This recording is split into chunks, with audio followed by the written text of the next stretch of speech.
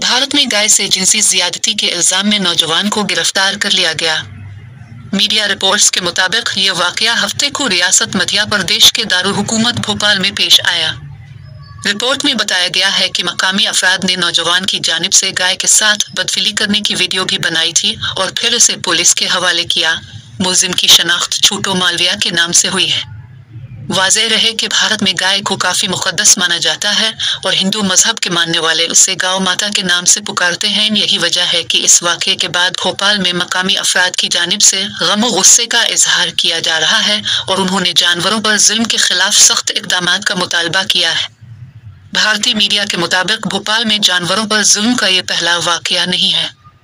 चंद माह कबल एक नौजवान को कुत्ते को बेदर्दी के साथ तालाब में फेंकते हुए देखा गया था।